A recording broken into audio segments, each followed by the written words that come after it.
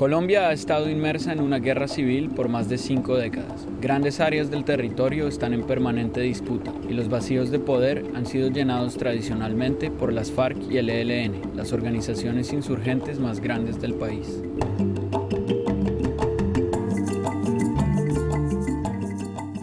Acá en esta región lo que falta prácticamente todo porque acá vemos que nos falta centros de salud, nos falta educación, no tenemos agua potable, no queda de otra sino tomar agua de río porque la sequía, a pesar de que tenemos tantos ríos y tantos afluentes, no tenemos ni un acueducto, no tenemos la energía eléctrica, nos hace falta todo prácticamente. El Chocó se encuentra en la costa pacífica colombiana y es la provincia más pobre del país. El 63% de la población vive en la pobreza y más de una tercera parte vive bajo el índice de miseria. Colombia es una sola. En últimas, merita la presencia guerrillera en cada rincón de Colombia.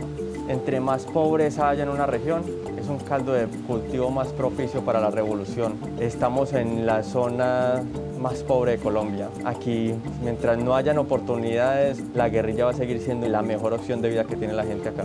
El reciente 50 aniversario del Ejército de Liberación Nacional, ELN, nos llevó a las selvas del Chocó, donde una guerra abierta entre las guerrillas, por un lado, y las fuerzas gubernamentales y grupos paramilitares, del otro, se ha recrudecido recientemente. Nuestras cámaras tuvieron un acceso exclusivo a esta organización hermética. Estamos en un proceso constante para ser cada día mejores. Nuestra fuerza está creciendo y renovándose continuamente.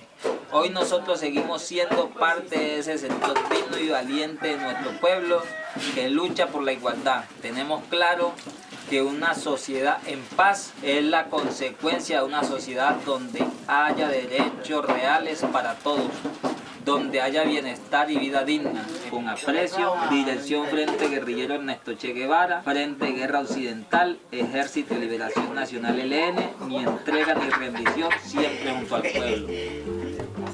Yo me vinculé a la edad de 16 años. La vida guerrillera es sencilla, por un lado, pero también es dura.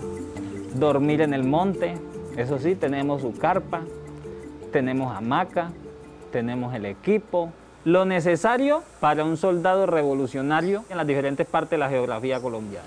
Cargamos el viaje de leña, hacemos el día de rancho, prestamos las dos horas de guardia nocturna, subir filos, pasar cordillera, andar valles, la formación militar se hace con el cursillo del miliciano, la escuela del combatiente, escuela de tropas especiales, hasta llegar a la escuela de cuadro, que es como el máximo evento de nuestros compañeros mandos. La formación ideológica es una cuestión de a diario estudiar con nuestros compañeros. Los tentáculos del imperio norteamericano.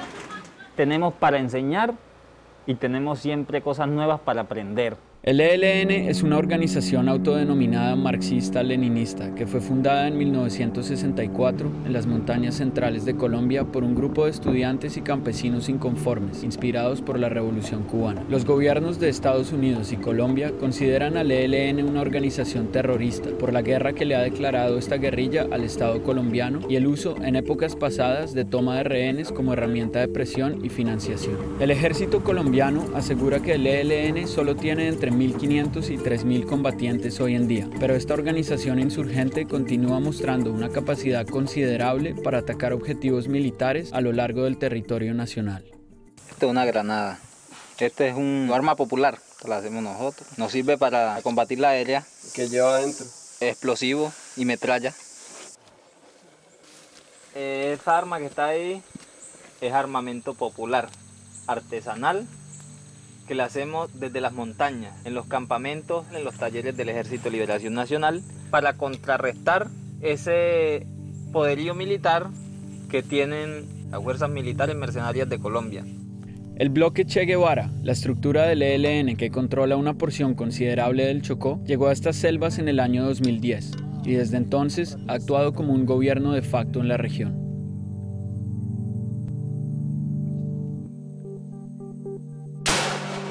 En esta ocasión presenciamos el uso de armas artesanales para repeler los aviones de fumigación de cultivos ilícitos del gobierno.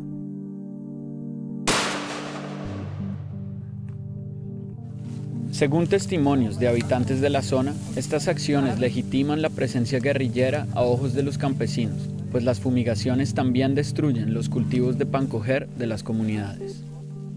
El programa antidrogas de fumigaciones aéreas, que es financiado en Colombia por los Estados Unidos, ha sido muy polémico, pues organizaciones ambientalistas y defensoras de derechos humanos y recientemente la Organización Mundial de la Salud han señalado el impacto negativo que el glifosato tiene en las personas y el ecosistema. Yo estaba trabajando aquí en este monte, cuando una vez fue intentando, una vez fue intentando,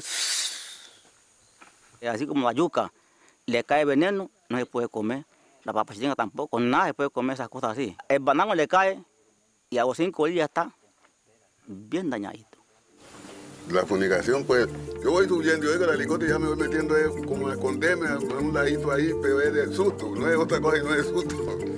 Yo no, yo no sé por qué fumigan, no sé si es por matar maicito a, a uno que no pueda comer, porque usted cree que uno está rozando un maíz esperanzado que va a comer su maicito, o va a comer su arepita, o va a comer su arrocito, y se lo matan, ¿qué puede comer? Mire, son mazorcas que en plenitud no pudieron desarrollar todo su tamaño. Mazorcas, veas, podridas, debido a la fumiga, veas cómo quedaron. En esta región, las comunidades también apuntan al glifosato como la causa de enfermedades y hasta muertes en niños y jóvenes. Por ahora se nos ha fallecido un niño de un año por el problema de la fumigación. Aquí pelados también muy, muy enfermos con, con, las manchas en, en, el cuerpo. Porque si nos fumigan cosas tan, tan importantes como el maíz, la papachina, la piña, eh, nos dejan prácticamente sin, sin de qué vivir tenemos la lectura que las fumigaciones, más allá de ser una política antidrogas, antinarcótica, es una política de despojo. No solamente se afectan cultivos de uso ilícito, sino que se afecta el pancoger. Si dejan a la gente sin comida, les toca abandonar las tierras. Son tierras ricas en la mira de las multinacionales para la explotación minera, para la explotación de muchos recursos minerales, hídricos, biodiversos. El gobierno colombiano acusa a los insurgentes de financiar su actividad con las ganancias del negocio de las drogas ilícitas. Le preguntamos al comandante del ELN en la zona sobre la financiación de la guerrilla y su relación con el narcotráfico. Nosotros cobramos impuestos sobre cualquier actividad comercial que se presente en las zonas de influencia. Si hemos estado en zonas cafeteras sobre el café, si hemos estado en zonas mineras sobre la minería, si hemos estado en zonas de comercio al comercio, en donde es la madera la madera, el transporte al transporte, y en las zonas cocaleras a la coca. Si hay salida de coca también por las zonas de influencia nuestra, se cobra el, el impuesto por la salida de, de ese producto. ustedes no son narcotraficantes? Cobramos impuesto a cualquier actividad comercial que se realice. En zonas de guerra como el Chocó, el gobierno colombiano no cesa la ofensiva en contra de las organizaciones insurgentes. En la última década, operaciones militares de gran escala han diezmado la capacidad de acción de la guerrilla, quien se ha visto obligada a rediseñar su estrategia de guerra. A nosotros nos llegan a la 1, 2 de la mañana, a las 2 de la noche cuando estamos durmiendo los supertucanos, nos descargan bombas de 300 kilos, 6, 7, 8, 12 bombas en un momentico, los cuerpos quedan destrozados. Yo no duermo con miedo en ninguna parte. Es una cosa atroz. 8, 10, 12 bombas racimo que te caen en dos o tres descargas en cuestión de 3, 4 minutos. Hay sobrevuelos de helicóptero, están descargando tropa en tierra para rematar.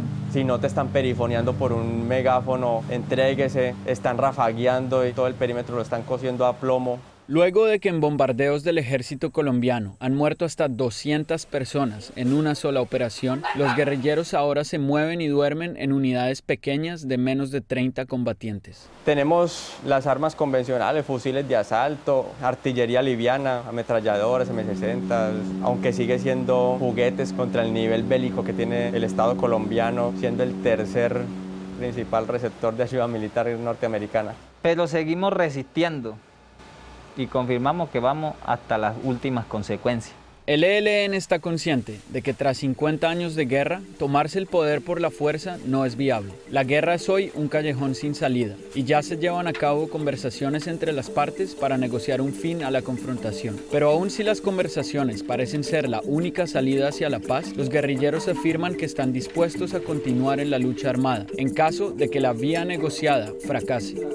La guerrilla está en todo lado Pues la guerrilla es una realidad que por más que la quieran ocultar, invisibilizar, seguimos siendo una realidad. Y en todo lado dicen, ah, están los infiltrados de la guerrilla en la universidad, están los infiltrados de la guerrilla en el sindicato, están los infiltrados de la guerrilla en el barrio. Lo que se han negado a entender es que es la guerra del pueblo y el ELN es una de las organizaciones que está liderando esa guerra del pueblo. Entonces el ELN está en todos lados.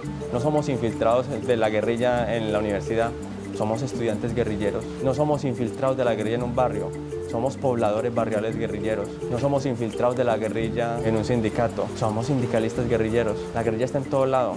Eso es lo que el enemigo no ha querido entender.